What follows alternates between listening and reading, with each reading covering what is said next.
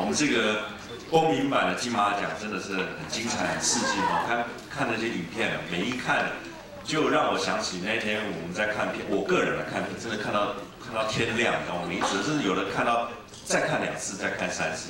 那我们过去自己常常做专题，会说有时候专题不能只有长度没有深度，那做长很容易，做深不容易。但我们看到今年这些参赛作品当中，专题真的都很棒，所以很难选。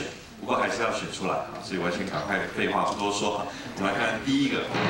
好，今年第一个专题报道组得奖的作品是。这个作品很棒，编号 A 一四六转太快的风机，书奖。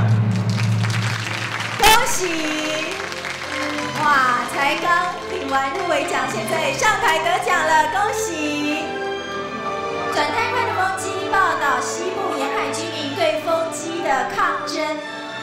也探讨台湾是否有风力发电开发的条件。恭喜你们！来台前这边两位。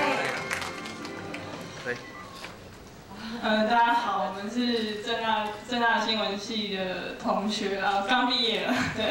然后有个同学现在还没有到现场，他是呃传播学士学位学程的同学。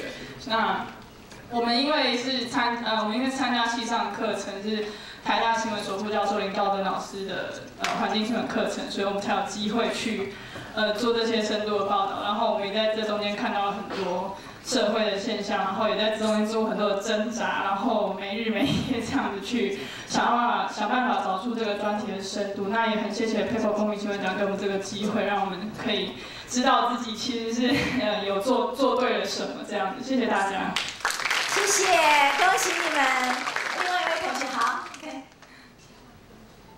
嗯，就就真的很感谢漂泊新闻奖给我们这个机会。然后就是，其实我们本身就是在大学报的时候就已经跟 PayPal 有很大的渊源。然后我们两个又同时参加了在就是之前的总编辑会议，对。然后就是跟 PayPal 就是还蛮有缘的。然后在采访这个新闻的时候，就真的遇到蛮多困难的，因为我们其实就是也不能偏袒哪一边，但是看着就是院里的居民在抗争，然后看着他们就是为了这件事情就是。